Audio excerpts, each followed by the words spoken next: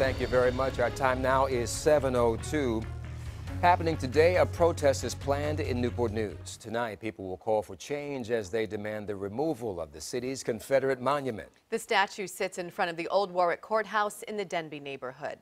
10 on your sides, Kiahnna Patterson is live from the monument this morning. Kiahnna?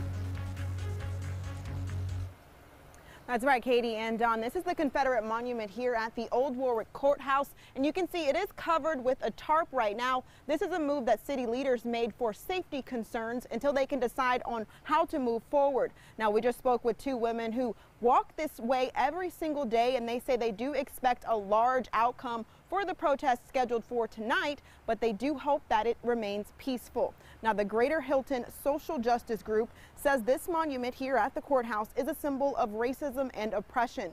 City leaders like Councilman Marcellus Harris and Dave Jenkins call for its removal. And in a statement online, Jenkins says, in part, this monument is more a political statement than a true monument to military history. And it no longer represents the values as a city, our values as a city while Councilwoman Pat Woodbury disagrees and she believes the monument should remain up. In a statement, she also calls for an additional monument. She says, I am not in favor of rewriting or denying history, but learning from it and adding to it with others for the cause of social progress.